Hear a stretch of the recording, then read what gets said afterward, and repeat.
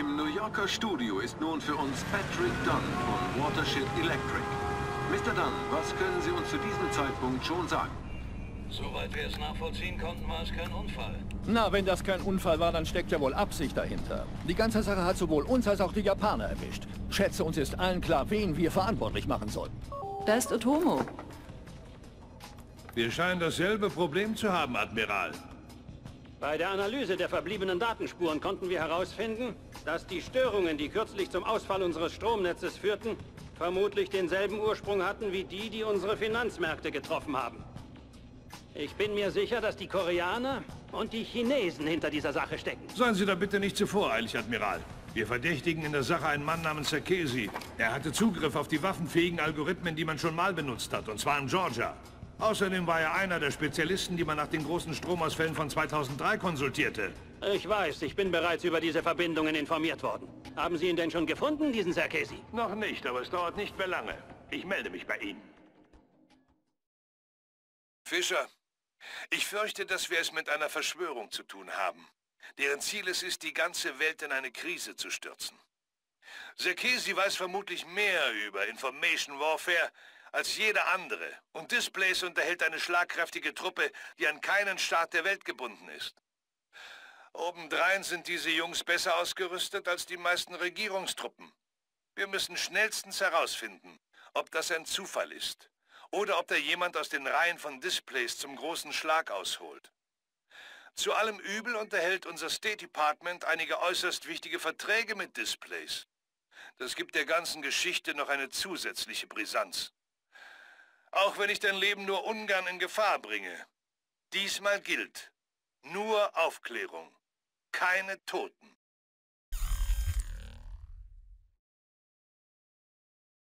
Fischer, wir müssen herausfinden, ob Displays und Serkesi zusammenarbeiten. Und bis wir es wissen, soll ich es ruhig angehen lassen. Wenn du jemanden tötest, werde ich die Mission abbrechen. Das Pentagon hat mit Displays Verträge in der ganzen Welt. Der Präsident verschluckt sich an einer Brezel, wenn er von unserer Aktion erfährt. Okay, also unser Befehl lautet kein Töten, nur aufklären. Wir sollten mal schnell aufs Offset schauen. Und da haben wir einige Ziele. Das heißt natürlich, töten Sie niemanden. Finden Sie heraus, wer für die Sicherheit von Zakesis verantwortlich ist. Ja, greifen Sie auf den Zentralserver im Serverraum zu und finden Sie den Zugangsalgorithmus für den Server. Das haben wir ja eine Zeit lang beschäftigt. Was gibt's denn da Schönes? Marco sagt, du sollst dich beeilen. Die Luft da drin wird irgendwie muffig. Was schert mich, was Marco sagt? Ich kenne ihn nicht einmal. Ich werde ihm sagen, dass du das gesagt hast. Ja, tu dir keinen Zwang an. Junge, das gibt Ärger. Mir doch egal. Ja, die Herren vertrauen sie nicht so wirklich.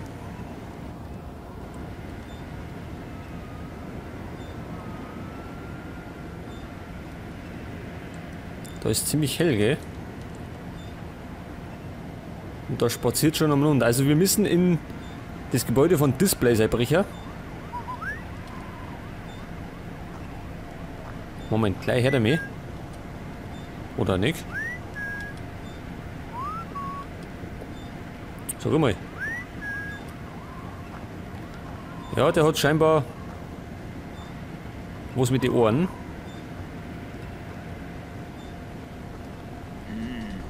Was ist das? Rat jetzt gerade sie um.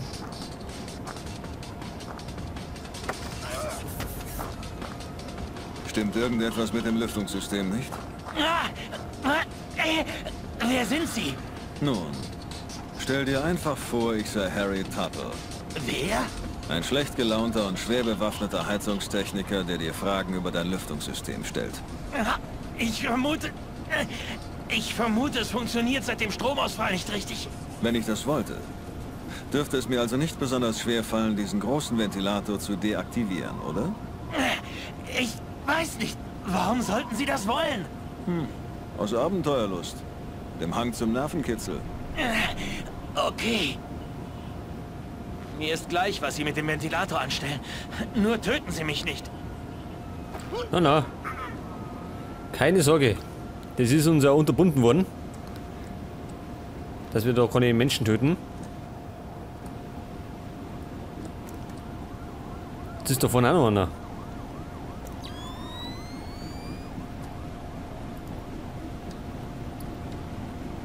Und wir müssen erstmal den Ventilator irgendwie abstellen. Wahrscheinlich werden wir dann da irgendwie reinkommen.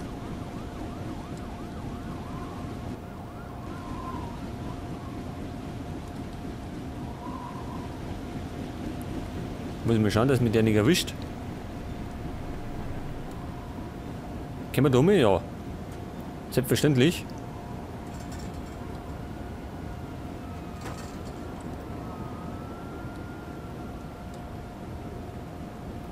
Und ist, jetzt müssen wir ihn gerade noch überwältigen.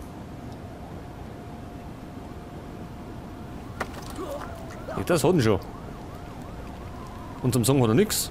Gut, interessiert eh keinen.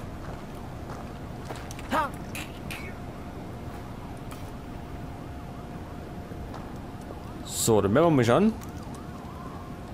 Dass wir den Ventilator irgendwie abstellen. Vielleicht irgendwo.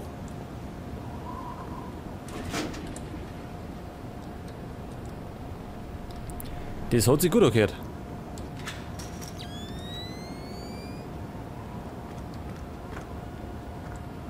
Jetzt läuft er nämlich nimmer. Falle entschärfen. Wo ist denn für Falle?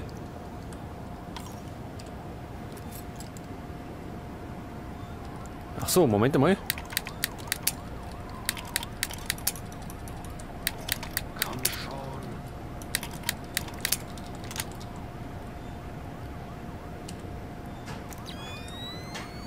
Gut, und so sind wir drin. Können wir uns da abseilen schon, gell?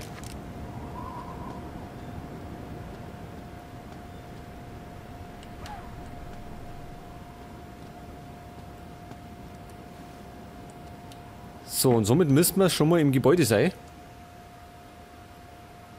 Da geht's nicht weiter, da hinten geht's.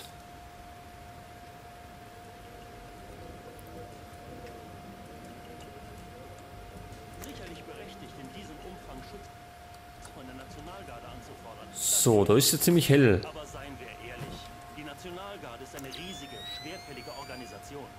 Sicher, das ist, was wir brauchen. Eine Präsenz. Im Gegenteil.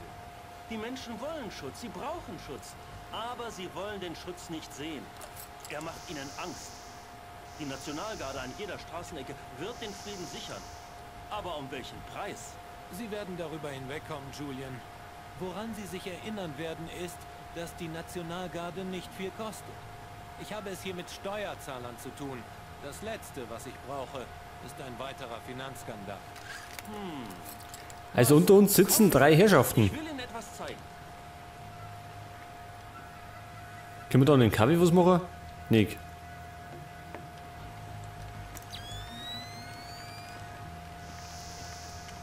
Erzähl von mir.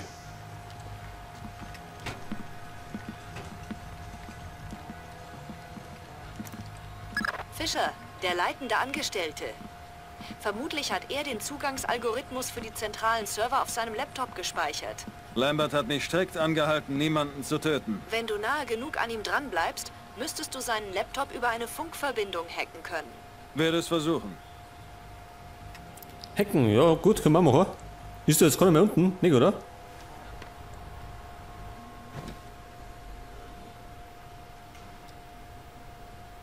Und da draußen steht einer, oder was? Keiner. Das ist schon mal gut. Da können wir uns mal da ein bisschen umschauen. Elektrochrome Fenster. Könnten Sie Ihr Fenster in die Zukunft werden? Ach so, die, die verkaufen elektrische Fenster? Ich glaube, wir sind bei Displays.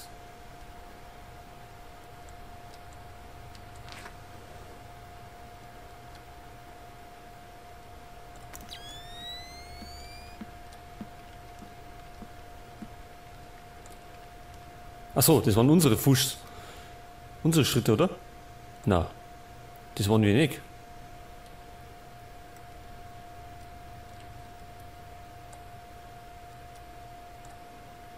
Da ist ziemlich hell.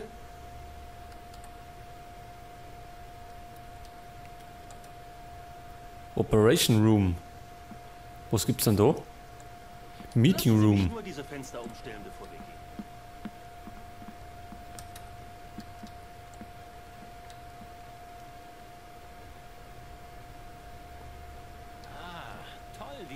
Sam, jede der einzelnen Sektionen von Displays scheint ihren eigenen Servercluster zu besitzen.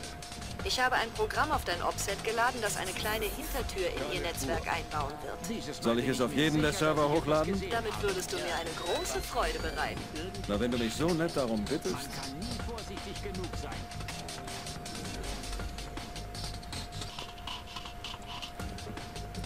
Was ist denn da los? Suchen die uns? Waren wir unvorsichtig oder was?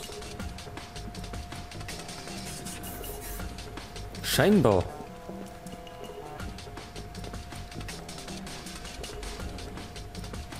Nichts. Nichts. Und was sollen wir jetzt tun? Guck mich nicht so an. Ich weiß es nicht.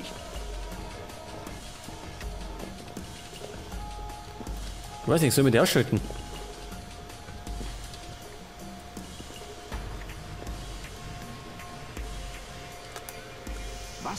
Teufel geht hier vor? Könnte schwören, dass da was war. Mann, du machst mich ganz irre. Und da müssen wir scheinbar was hacken. Und zwar für Grimm. Moment einmal. 69. Hm, wird wohl. Hey, sag jetzt bitte nicht, wird wohl nichts gewesen sein. Ich hasse das. Na, von mir aus. Aber ich weiß Gute Arbeit. Das war der erste ihrer Server.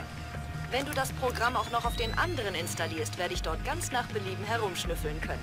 Ich werde sehen, was ich tun kann. Genau, wir schauen, wo wir da können. Vielleicht erstmal den ausschalten. Kriegt das?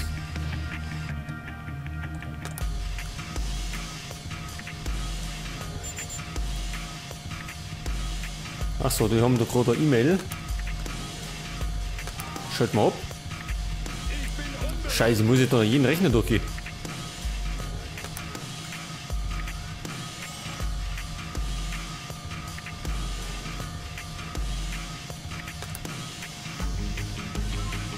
Sicherheitszugang, da müssen wir es wieder machen. 69 und 10. Milan Nedic, Vizepräsident Personenschutz, Displays International. Er hat die Leute bei der Morgenhold-Sache in Peru kommandiert? Ja. Und jetzt bewacht er Sarkesi. Und... Verdammt. Er ist absolut sauber. Sieht so aus, als hätte man alles über ihn gelöscht. Hm. Wer auch immer er ist, er spielt auf beiden Seiten. Wir müssen Shetland informieren. Shetland ist auf sich allein gestellt. Wir können die OPSEC nicht für persönliche Interessen riskieren. Na schön. Dann werde ich versuchen, etwas über unseren Freund hier herauszufinden.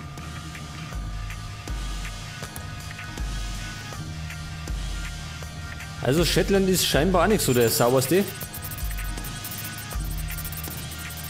194.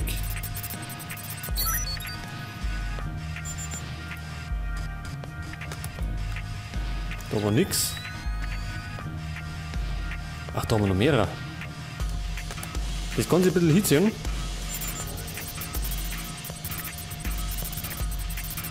Dreißig. Aber das bringt noch nicht viel. Ich brauche die Vorderzahl noch. 194. Ja, da ist.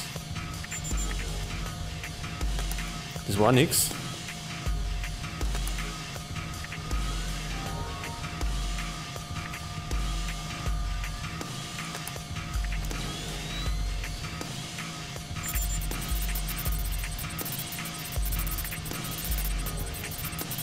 ...193 war vorne, hinten, also in der Mitte 40. Jetzt brauche ich noch die anderen zwei Zahlen, die da. Ist ja nix.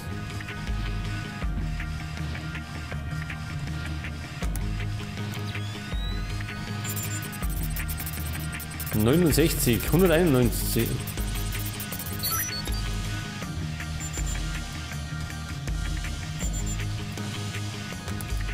Ah, nix.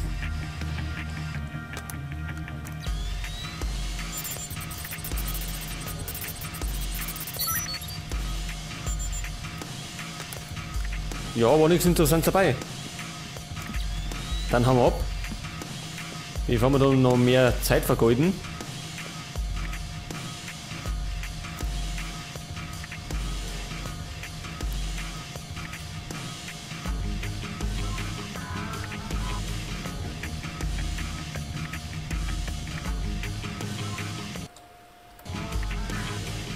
Warum läuft eigentlich die, dauernd die Musik?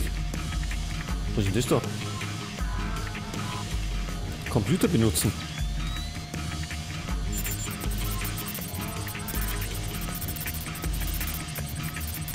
Siebenundsechzig. 192. Das müsste das sein. Türcode. Gute Arbeit, Sam.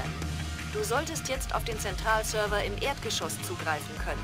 Dieses ganze Wireless-Zeug macht einem das Leben um einiges leichter. Ja, willkommen in der Wi-Fi-Ära.